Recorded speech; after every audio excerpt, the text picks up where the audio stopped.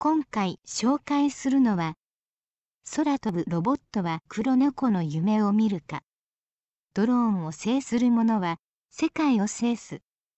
という本です。5年後ドローンは日常生活の一部になる。なぜ日本から世界に通用するドローンができないのか覇権を握るのはどの国か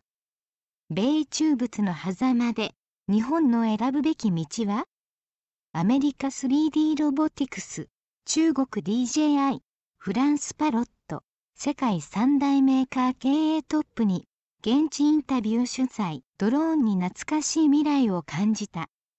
前書きにある言葉ですが私もドローンに同じことを感じて魅了されているので大変この言葉に引きつけられました。ドローン関連書籍はある程度読んでいます。この本は学者や研究者が書いた本ではなく在野のユーザー視点から今現在のドローン業界を俯瞰して中国アメリカフランスの覇権争いがどうなるのか日本は現在どのような立場なのかそして今後どのように進んでいくべきなのかドローンがどのような可能性を秘めているのか等かつて車パソコンインターネット検索エンジンがたどった道にある時は重ね合わせながらある時は現在の状況将来の予想と交えて分かりやすい文章で解説しています。筆者の未来予想将来推測が必ずしも当たるとは思えませんが説得的だと思えるに足る十分な内容が記述されています。この本は